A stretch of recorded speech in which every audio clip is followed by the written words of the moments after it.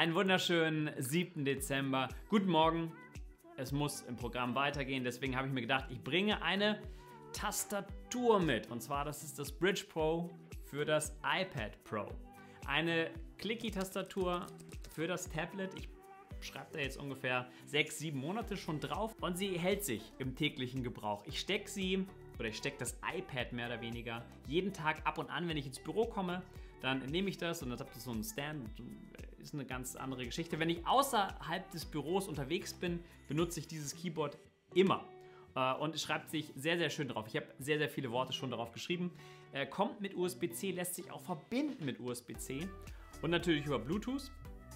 Ähm, verbraucht ziemlich viel Batterie, ungewohnt viel Batterie. Äh, es wird versprochen, irgendwie, dass es Monate und Jahre hält. Ich muss sagen, ich stöpsel USB-C gerne mal so an. Ich weiß nicht, was den Strom bei diesem Keyboard zieht, aber er wird gezogen. Ich habe halt auch dauerhaft die Hintergrundbeleuchtung von den Tasten an, die ich sehr nett finde. Wenn es einem wichtig ist, es gibt äh, die T-File-Tasten zum Tippen.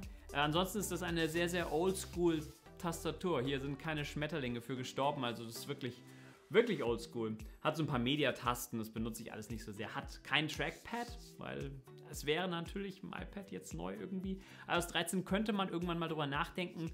Ähm, kommt mit so einem Cover, und zwar ist das Cover eigentlich nur dafür gedacht, dass man das so schön abschließend hat, während das iPad in diese kleinen Füßchen rutscht. Diese Füßchen, die lassen sich relativ schwierig verdrehen, wenn man kein iPad angesteckt hat, ansonsten sehr leicht. Der Neigungswinkel von dem iPad, der kann frei gewählt werden, was auch durch ein, durchaus ein Verkaufsargument für dieses Keyboard ist. Bringt einiges an Gewicht nochmal zusätzlich auf die Waage, das muss man bedenken, das muss einem klar sein.